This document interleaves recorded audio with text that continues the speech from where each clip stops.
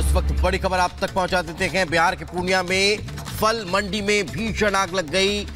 खुशकी बाग का फल मंडी में देर रात भीषण आग लगी और आग लगने की वजह से भारी नुकसान यहाँ हुआ है। मौके पर पप्पू यादव पहुँचे और आग बुझाते हुए नज़र आए हैं। अब तक आग लगने के से किसी के हताहत होने की खबर नहीं है, लेकिन भारी नुकसान जो है, वो इस आग लगने की घटना के बाद हुआ है। तस्वीरों में आप पप्पू यादव को देख सकते हैं, जो बिहार के पूर्णिया से ही निर्दलीय तौर पर चुनाव मैदान में उतरे हुए हैं और वे खुद भी मौके पर पहुँचे और आग पर काबू पाते हुए नज़र आए हैं। तो तस्वीरों में आप देख सकते हैं बिहार के पूर्णिया की तस्वीर, जहाँ फल मंडी में अचानक आग लग गई।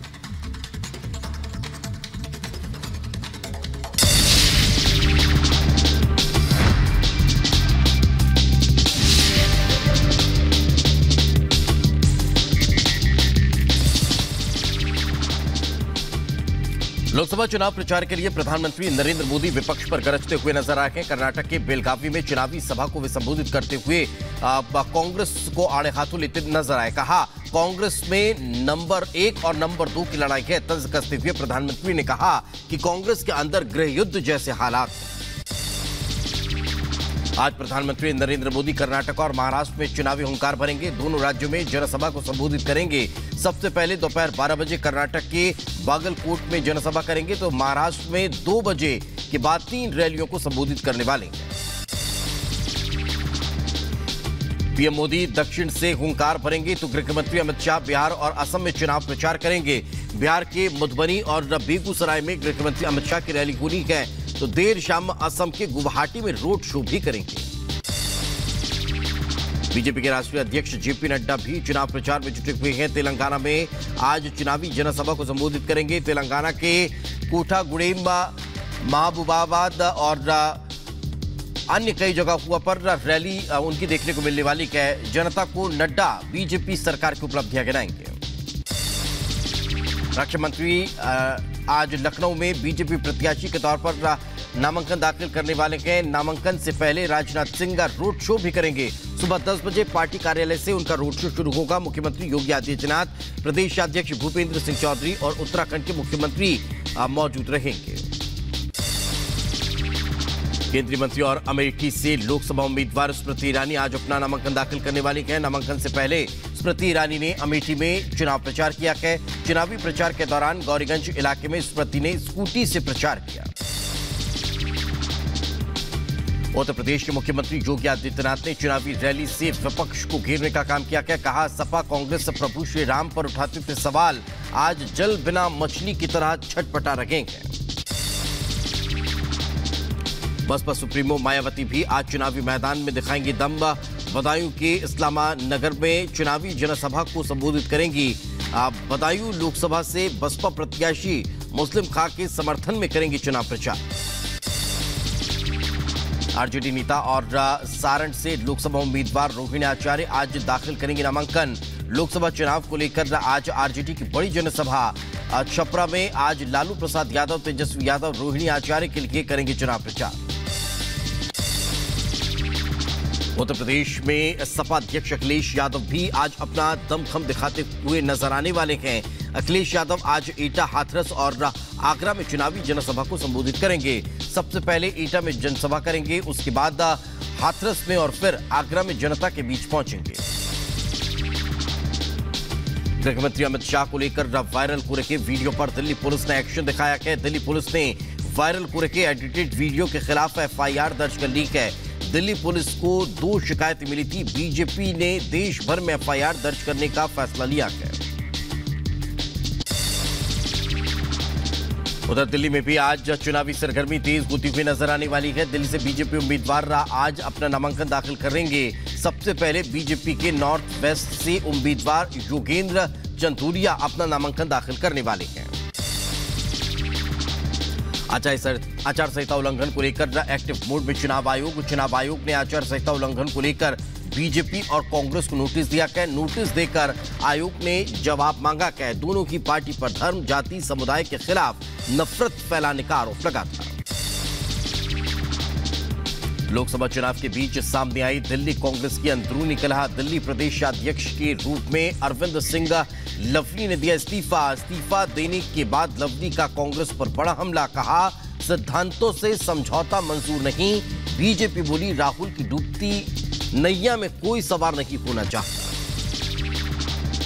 आरक्षण पर झूठे प्रचार के खिलाफ संघ प्रमुख मोहन भागवत ने बयान दिया कहा, कुछ लोग संघ के खिलाफ फैला रखे हैं अफवाह। संघ शुरू से ही संविधान के आधार पर आरक्षण का समर्थक है। आगामी लोकसभा चुनाव को लेकर जुबानी जंग तेज हो चुकी है। बीएसपी नेता और बीएसपी सुप्रीमो मायावती के भतीजे आकाश आनंद ने बेतुका बयान दिया कि आकाश आनंद ने बीजेपी को आतंकवादी बताया है बीजेपी पर भेदभाव करने का आरोप भी लगाया। उत्तर प्रदेश के सीतापुर में आकाश आनंद के खिलाफ पुलिस ने मामला दर्ज किया है। भड़काऊ बयान देने के आरोप में पुलिस ने इस बयान में शिकायत दर्ज कर ली है। पुलिस ने धारा एक सौ इकहत्तर सी, एक सौ तिरपन बी, एक सौ अट्ठासी, पाँच सौ पाँच तथा धारा 125 के तहत मामला दर्ज किया है। आकाश आनंद के बयान के बाद छिड़ा सियासी घमासान, बीजेपी ने आकाश के बयान पर बीएसपी को आड़े हाथों लिया। बीजेपी प्रवक्ता राकेश त्रिपाठी ने बीएसपी नेता आकाश आनंद को चेतावनी दी और कहा कि जो जैसा बयान दे रहा है, उन्हें चुनाव में वैसा ही परिणाम मिलेगा। आम आदमी पार्टी के विधायक अमानतुल्ला खान की बढ़ सकती है मुश्किलें। आज ईडी ने अमानतुल्ला को पूछताछ के लिए बुलाया है। अमानतुल्ला खान को ईडी का समन जारी हुआ है। वक्फ बोर्ड मामले को लेकर यह समन जारी किया गया। उत्तर प्रदेश के जौनपुर में विधायक अभय सिंह ने धनंजय सिंह को लेकर बड़ा हमला बोला। कहा, धनंजय सिंह हमेशा क्षत्रियों के खिलाफ दे रखे हैं। कभी किसी ठाकुर नेता को आगे बढ़ने नहीं दिया। साथ ही कहा कि सनातन की बुराई करने वालों के साथ नहीं उत्तर प्रदेश के हमीरपुर में डॉक्टरों की लापरवाही सामने आई है। जिला महिला अस्पताल में माँ और बच्चे की इलाज में लापरवाही से मौत हो गई। अस्पताल में परिवार वालों ने जमकर हंगामा किया। पुलिस के काफ़ी समझाने के बाद परिवार के लोग शांत हुए। पुलिस अब मामले की जाँच में जुटी गुजरात के अरवली में बीजेपी प्रदेश अध्यक्ष सी आर पाटिल ने बूथ सम्मेलन के दौरान कांग्रेस पर जमकर हमला बोला। पाटिल ने कांग्रेस को हारने वाली पार्टी बताया, साथ ही जनसभा में मोदी सरकार के कार्यकाल की उपलब्धियाँ भी गिनाई। उत्तर प्रदेश के गोंडा में चक्किया गाँव में लगी भीषण आग आग लगने की वजह से कई घर चपेट में आए। घरों में रखा सामान, जलकर आग हुआ, कड़ी मशक्कत के बाद पाया गया आग पर काबू। वीडियो देखकर खुद स्वास्थ्य विभाग की टीम मौके पर पहुँच। गई उत्तर प्रदेश के अलीगढ़ में एक्शन मोड में नज़र आई। अलीगढ़ मुस्लिम यूनिवर्सिटी की नई वाइस चांसलर खातून ने एएमक्यू में लगातार होने वाली फायरिंग की घटनाओं को लेकर अराजक तत्वों को बाहर करने का फैसला लिया है।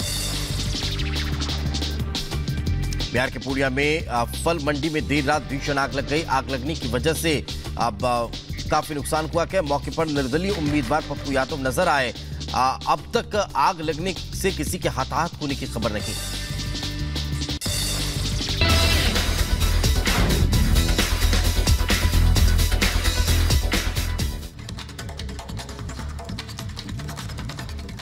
उत्तराखंड के हरिद्वार में एक शख्स ट्रेन की चपेट में आ गया। जिसका सीसीटीवी सामने आया है? ट्रेन से नीचे गिरने के बाद शख्स का क्या हाल हुआ? आप खुद इस वीडियो में देख लीजिए।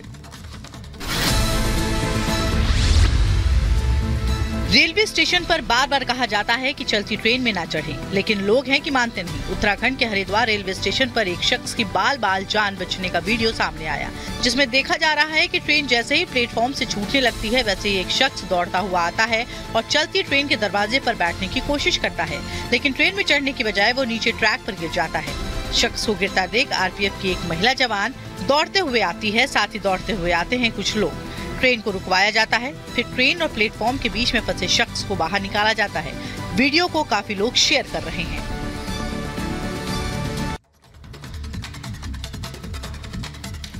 आपने अक्सर तोतों के खास करतब देखे होंगे, लेकिन इस बार एक ऐसी तस्वीर सामने आई है, जिसे देखकर आप खुद इस वीडियो के दीवाने हो जाएँगे। आखिर ऐसा क्या है इस वीडियो में? आप खुद देख लीजिए।